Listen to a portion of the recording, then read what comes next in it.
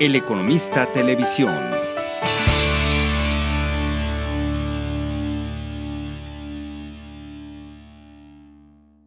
El Departamento de Comercio estadounidense informó que México recibió ingresos por sus ventas de petróleo crudo a Estados Unidos por 2.750 millones de dólares en los primeros cinco meses del año.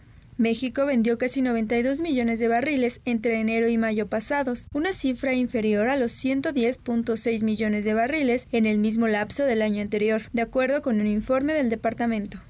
México permaneció en el cuarto lugar como proveedor neto de crudo de Estados Unidos por volumen, una posición que ocupa desde abril de 2015, cuando fue desplazado de ese sitio por las exportaciones petroleras de Venezuela. A nivel del comercio general, las exportaciones de México al mercado estadounidense fueron de 120.2 mil millones de dólares en los primeros cinco meses de 2016, un aumento marginal en relación con los 119.8 mil millones de dólares en el mismo lapso de 2015. El superávit comercial de México sobre Estados Unidos ascendió a 26.221 millones de dólares entre enero y mayo del presente año. Con información de agencias para el Economista Televisión, Lilia Galván. El Economista Televisión.